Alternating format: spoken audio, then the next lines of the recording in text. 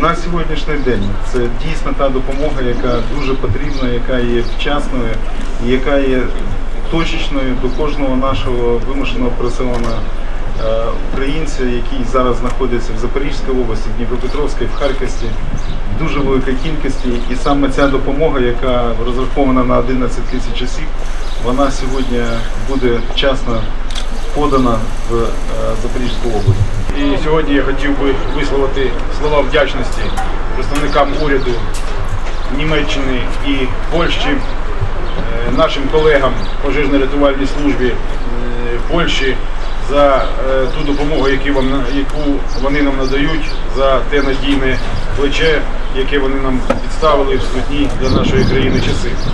Це не просто гуманітарна допомога, це не просто доставка вантажу, це е, підтримка позиції України у тій війні, яку розв'язала Російська Федерація проти нашої країни. І мені дуже приємно, е, і я хочу запевнити представників уряду і Німеччини і Польщі в тому, що е, українці відчувають, що ми не залишились самотні, і для нас це дуже важливо.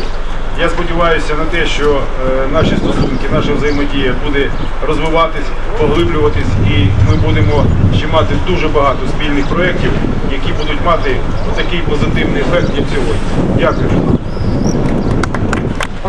Спасибо большое, уважаемые дамы и господа, э, уважаемый э, зампремьер-министра, коллеги министры.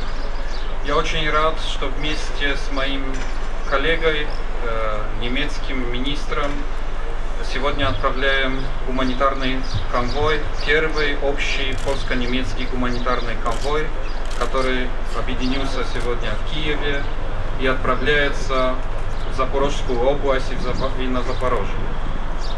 Мы очень рады и хочу подчеркнуть, что Польша, Германия не только поддерживаем политически Украину, не только поддерживаем Украину морально, но мы тоже направляем конкретную поддержку, поддержку гуманитарную.